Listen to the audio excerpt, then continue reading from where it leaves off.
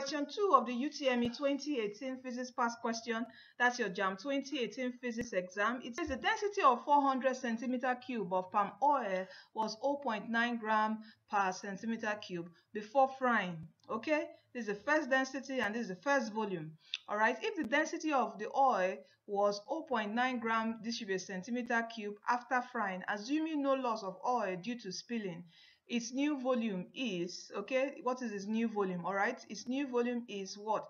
All right remember what's the formula for finding density d is what? Mass over volume all right? And the question says assuming no loss of oil due to spilling so our mass will be what? The same okay? So the mass will be the same before frying and also after what? Frying. So we have here so d where mass will be what?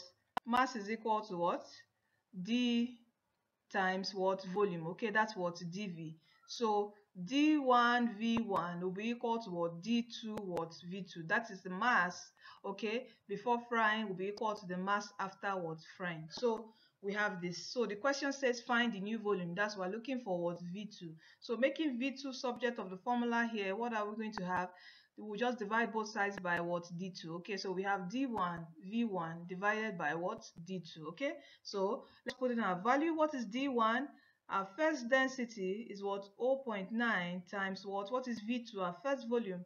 The density of this 400 centimeter cube which is our volume all right?